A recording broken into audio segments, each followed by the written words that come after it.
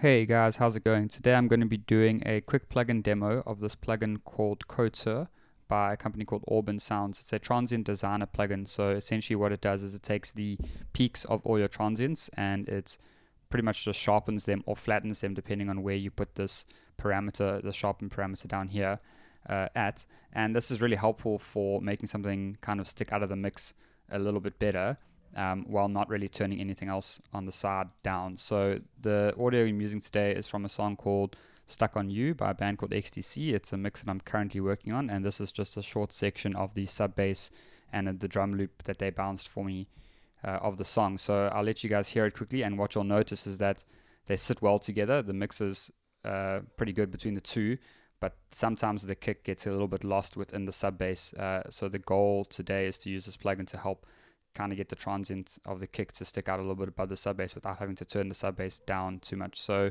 I'll let you guys have a listen and then I will uh, engage the plugin and show you what it does.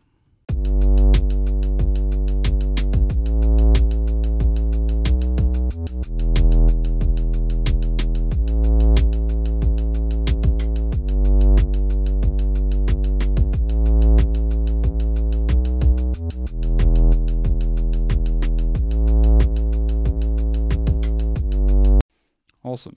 So the parameters of this plugin are pretty simple. Um, what you want to do is when you open it, set this to flat, so it kind of just reads all frequencies.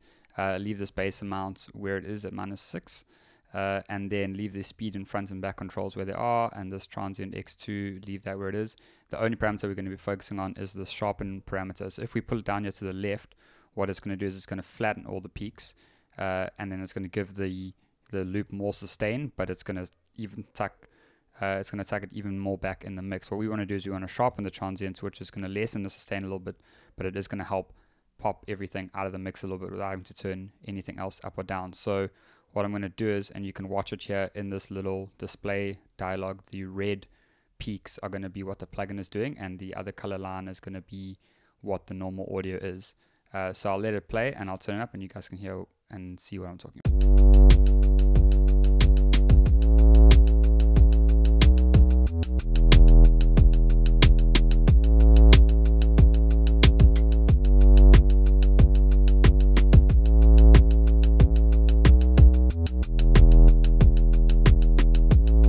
So as you can see by these little peaks here, these are the snare and the kick and the hi-hats kind of transients that are being pulled up. And uh, you can immediately hear that the whole thing kind of sticks out of the mix a little bit better. So yeah, that's a pretty simple explanation of what this plugin Couture does by Auburn Sounds. Uh, you can download it on their website uh, for free. You don't have to create an account.